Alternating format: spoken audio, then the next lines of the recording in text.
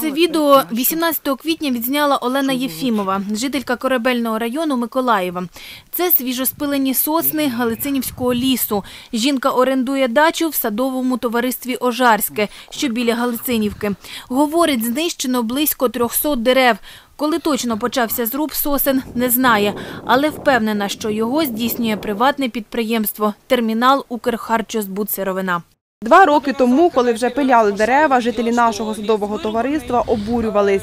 Тоді припинили зруб дерев. В цьому році знову рубають. Я відзняла відео та залила його у соціальні мережі. Мені просто шкода молодий ліс. Йому не більше 10 років. Садили його ми, працівники глиноземного заводу і Галицинівки, аби хоч трохи зберегти природу.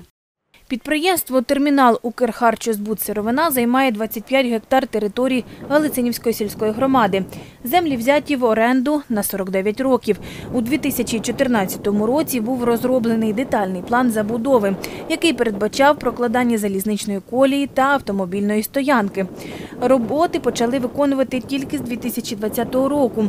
За цей час провели усі юридичні процедури, а також змінили цільове призначення земельних ділянок, оцінили вплив на довкілля, провели громадські слухання та сплатили гроші за природні збитки.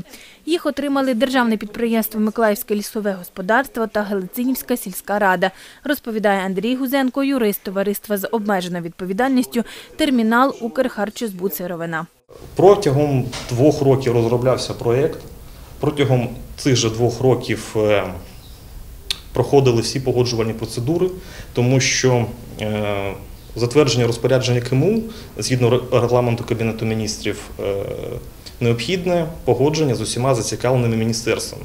Тому нам приходилося проходити і через Міністерство екології, і через Мінрегіон, і через Держгеокадастр, і через е, Лісове агентство України, тобто через всі державні органи ми пройшли. Було зобов'язано нас сплатити збитки та втрати.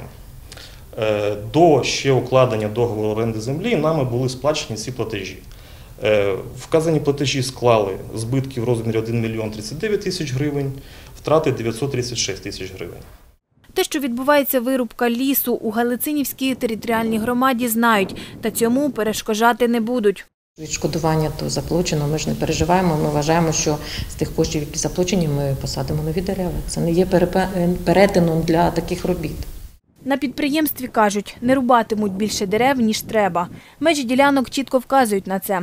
Розголос справи пов'язують з політикою. Директором підприємства є Володимир Фалько, батько секретаря Миколаївської міської ради Дмитра Фалька.